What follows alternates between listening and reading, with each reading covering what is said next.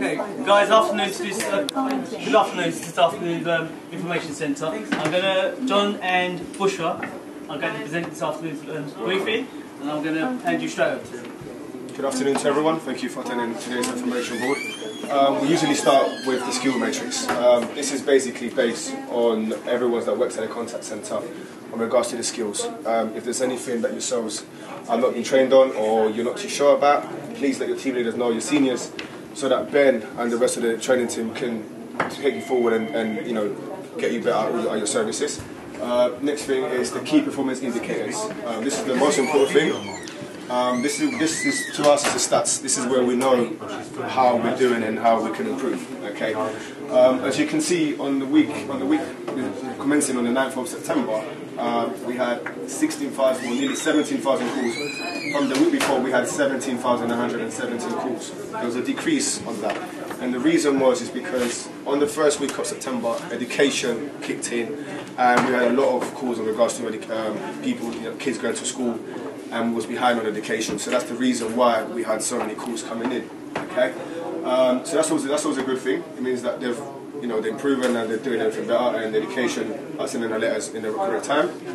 Um, Ron's favourite, waiting time. As we're aware, um, last week we had 18, 18 seconds on waiting time. From the week before we had 36 seconds. That means that we actually we improved. We are doing it within still slightly better. I mean, 18 phrases is better. So, and we've answered within three against 96.4. So we've actually we went over the, our target day. So well done to everyone. Yeah.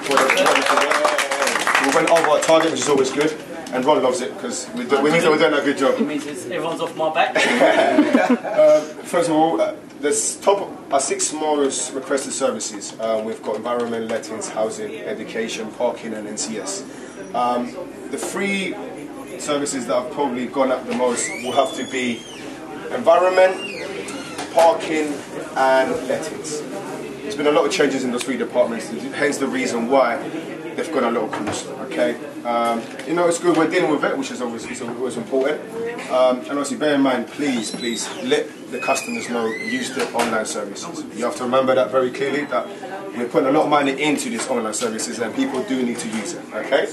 And once once we people use the internet, we'll know that this will probably go down a bit. Okay. Um, emails. Um, obviously, Fox isn't here, but this is what this is one of his uh, services. We processed 197 last week. Okay, so we're, we're up to target at the moment, 93.79 percent. So we're doing well. You know, we're, we're dealing with all the emails as it comes in. Okay, portals, my sort of thing. This is this is where I come in. Um, we processed 507, 578, okay, from last week we processed 47, so more coming in, this is, this is what we want to see. We want more coming in and we're dealing with them as it comes, okay. So the target there we're 82.3, still good, we're yeah, agree. Absolutely. So perfect. Um, so well done to everyone, the emails and, and Paul, well done to everyone. Okay. Last thing, um, free visitor vouchers. Uh, this is something done by Karen and George over here. Um, they're doing an amazing job. This is something that has come in not long, not long ago, and we're dealing with it very well. Okay, we're, we're up to date with everything. We process 131, and the target is 100%. So as you can see, they're doing a, a very wonderful job. Okay. Um, failure demand. Um, this is something that we sort of wanna. We're still looking at it, but we, we don't really want to run if you. Yeah, I mean the failure demand is what we're really looking at here is why are people having to call us back? So the reason why we we need to monitor that quite closely is where we can identify a service that's causing people to call, call back continually, continually, we can actually start talking to that services about ways of them improving it to make sure that we can reduce the amount of callbacks to customers. We want to deal with people having to ring once and we deal with the inquiries at, at that point in time, that first point of contact, rather than have to chase things up. Yeah? Well, um, something that's very important to the uh, information board is uh, concerns and ideas. This is something that, as you're all aware, if there's anything that you want to add and you, and you want to make a difference to the contact centre, please, you know, write your ideas. Ron and the team leaders and the seniors will look at it. If it's something that they can do, they will do it. Okay. Um, so this is just obviously we, we have some ideas there and concerns at the moment are being looked into. Uh, things like TV in the in the kitchen, you know. Oh yes. Yeah, so sound like that. We're, we're, we're waiting for that. so that's happening. we're dealing with at the moment, so we're, doing- we're doing all right. Um, yeah, so that's Get the most important one yeah. Yeah, so as you know, this is this is something that will bring the whole team together because this is something that we can point ideas and something that will make improve the service of the contact centre. Okay. And last but not least, Ploys. Uh, Joan, Miriam, Bushra, and Dorothy. Well done for the Ploys last week. Um, I will now pass on to the lovely Bushra, who will deal with information. Hi, um, in regards to the payments, please be reminded all payments should be going through to the automated line, um, online or pay point, with the exception of nationality checking service, prepaid, refuse bags, FPN payments. All other payments should be going through to automated line or web services such as council tax rents can also set up direct debit and standing orders. Failure demand, for those of you having chosen to do the demand sheets, please ensure you complete and hand in every day.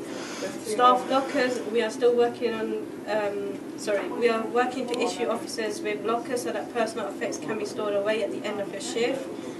Information board meeting, we would like you to ensure um, to continue participation of the team as such. We would like to once again invite you all to submit your inspirational thoughts for the week.